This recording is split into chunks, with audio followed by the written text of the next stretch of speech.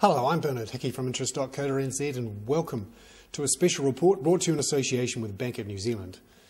This is the top 11 charts for 2011 and we're up to number 8 and we're across the Tasman to see what's happening with house prices in Melbourne. The reason I think this is important is that obviously our big four banks are based in Melbourne and Sydney and what happens with Australia often drives what happens in New Zealand. Now, up until now, the housing market in Australia has continued to be on the up and up.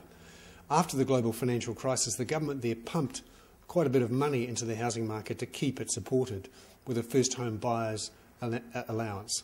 But it's just in the last two to three months that pressure has really gone on that housing market as the Reserve Bank has increased interest rates and the banks there have actually increased their rates by more than what the Reserve Bank increased interest rates. And you have to ask yourself the question is there a property bubble in Australia? And if it bursts, what does it mean for New Zealand? Well, here's a chart that gives you an idea. This is a chart of the ratio of house prices to average wages in Melbourne. And I picked on Melbourne because I've got a couple of brothers living there, and it's along with Sydney, one of the most highly valued cities in Australia. And you can see here that from most of the 80s and 90s, it wobbled around the 2 to 4 range. And then, shock horror, something happened in the late 1990s, early 2000s. We saw a big rise in the ratio of house prices to average wages. And now it's up around eight times average wages in Australia.